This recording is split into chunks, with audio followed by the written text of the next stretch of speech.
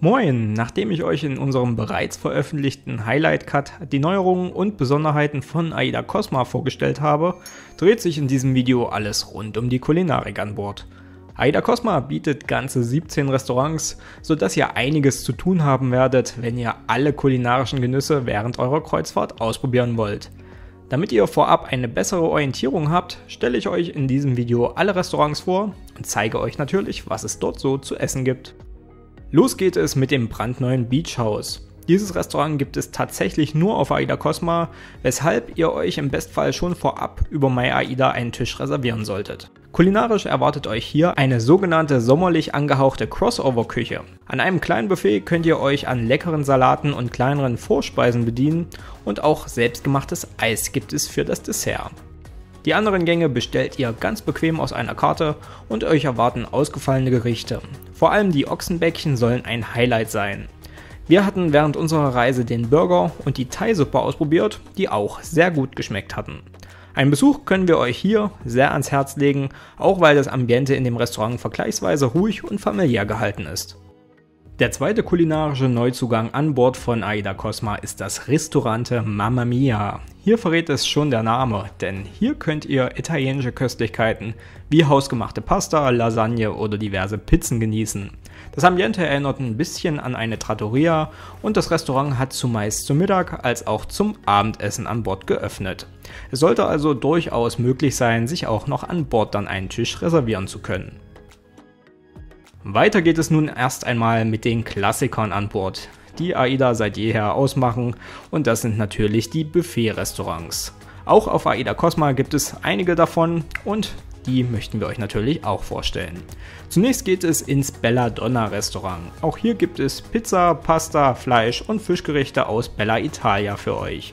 Das Restaurant ist schön und gemütlich angelegt, bietet allerdings keine Außenbereiche zum Sitzen. Ihr könnt hier zumeist zu allen Mahlzeiten speisen, wobei die ja, Angebote zum Mittag als auch zum Abendessen quasi identisch sind.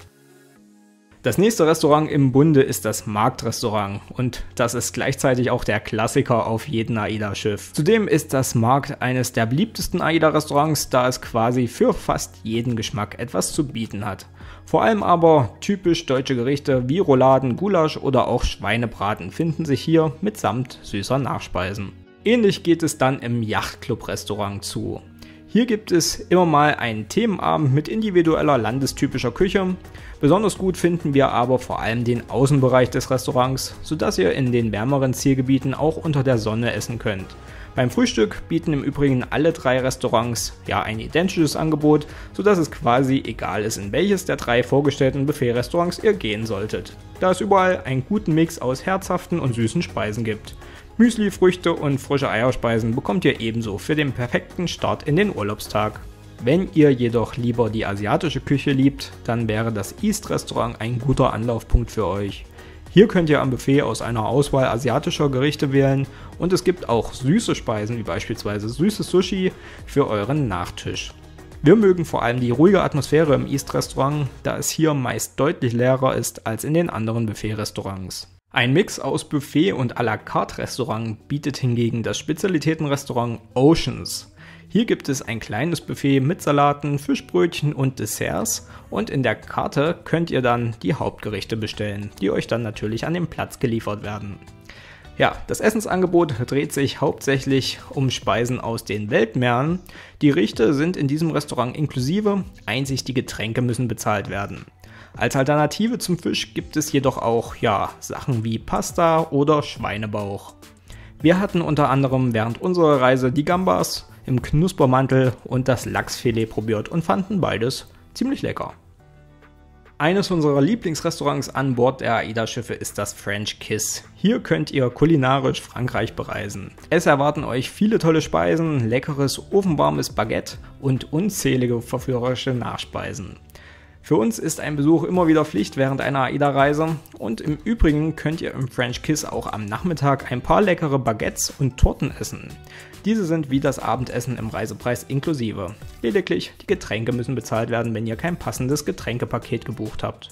Deftig geht es hingegen im Brauhaus zu. Hier erwarten euch zur Mittagszeit ein kleines Buffet und am Abend könnt ihr die Klassiker wie Schnitzel, Schweinshaxe oder auch Gulasch aus der Karte auswählen.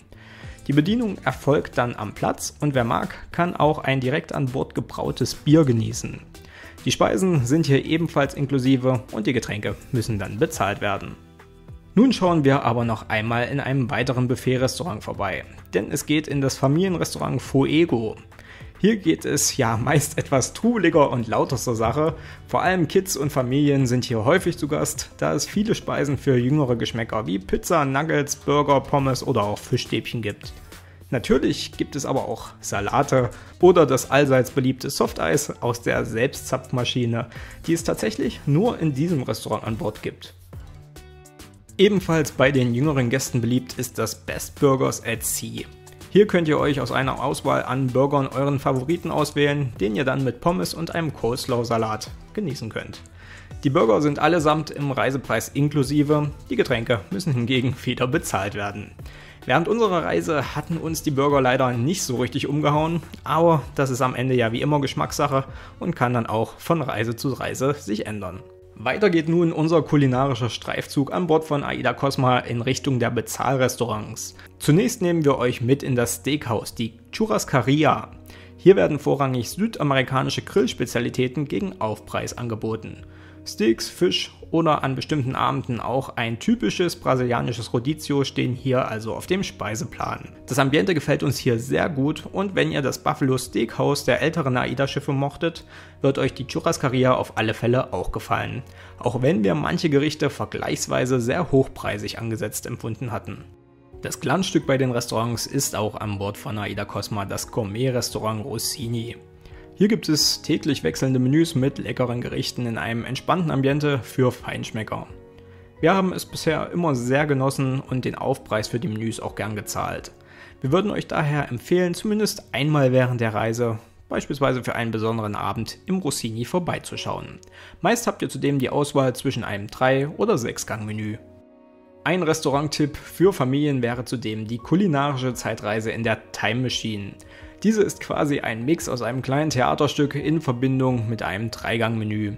Aktuell zahlt ihr als Erwachsener für das Menü 24,90 Euro, was dann auch die Getränke beinhaltet. Von der Qualität des Essens kann die Time Machine allerdings nicht ganz mit dem Steakhouse oder dem Rossini mithalten. Nichtsdestotrotz ist es für Familien und mit jüngeren Kids eine Empfehlung wert. Ihr habt hier im Übrigen auch die Wahl zwischen drei Menüs, einem Fisch, einem Fleisch und einem vegetarischen Menü. Jetzt geht es noch einmal nach Fernost. Sowohl das Sushi-Haus als auch das Asia-Pod-Restaurant sind zwei weitere Aufpreisrestaurants an Bord von Aida Cosma. Während das Sushi-Haus vermutlich keine Erklärung benötigt, ist das Hotpot-Restaurant schon etwas außergewöhnlicher. Hier bereitet ihr eure Speisen selber in einer heißen Brühe zu von einem Buffet bedient ihr euch dann zusätzlich ja an einer Auswahl an Beilagen und könnt einen entspannten Abend verbringen, der durchaus ja eineinhalb bis zwei Stunden in Anspruch nehmen kann. Und ein kleiner Tipp noch, besonders das Frozen Joghurt Dessert fanden wir sehr lecker, was dann nochmal das Menü abgerundet hat. Im Teppanyaki Grill nur wenige Meter weiter steht dann hingegen die Live-Show-Küche im Mittelpunkt.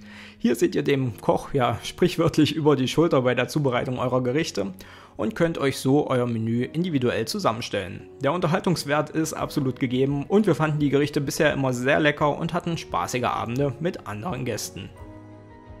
Wenn ihr jedoch lieber einen kleinen Snack zwischendurch an Bord genießen wollt, solltet ihr unbedingt auf der Streetfood-Meile vorbeischauen. Hier gibt es zum einen die Currywurst, belegte Brote und Sandwiches sowie süße Teile bei Brot und Stulle und natürlich den Döner. Currywurst und Döner gibt es quasi ab Mittag bis Mitternacht und alle Speisen auf der Streetfood-Meile sind im Reisepreis inklusive. Zum Abschluss noch ein kleiner Geheimtipp. Auf dem Außendeck des Brauhauses gibt es den Barbecue-Grill, den gar nicht so viele Gäste kennen. Dieser hat nicht ganz so häufig geöffnet, an Seetagen bei schönem Wetter soll er allerdings meist offen sein, bietet leckere Grill- und herzhafte Gerichte, die ihr, ja, dann natürlich unter der Sonne an der frischen Luft genießen könnt. Auch hier gilt das Motto, Speisen sind inklusive und die Getränke müssen bezahlt werden. Wir waren sehr, sehr positiv überrascht und können, ja, das kleine Restaurant sehr empfehlen. Wer dann jetzt noch immer nicht gesättigt ist, der sollte mal bei der Eisbar vorbeischauen. Hier warten rund 20 hausgemachte Eissorten auf euch und vor allem die Croissant-Waffel ist eine echt leckere Empfehlung. Aber auch, ja, eine ganz schöne Kalorienbombe.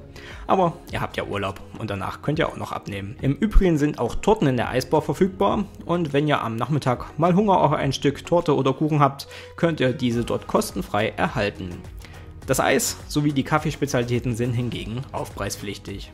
Ich hoffe, euch hat der kleine kulinarische Ausflug auf Aida Cosma gefallen und vielleicht habt ihr ja euren ganz eigenen Favoriten von den Restaurants, den ihr mir sehr gerne in den Kommentaren mitteilen könnt. Für mehr Informationen rund um Aida Cosma verlinke ich euch ja auf der Endcard unser Highlight-Video zum Schiff sowie die Vlog-Reihe rund um unsere Taufreise mit Aida Cosma von Hamburg bis Palma de Mallorca. Danke, dass ihr wieder eingeschaltet habt und bis zu einem unserer nächsten Videos hier auf Kreuzfahrttrend TV.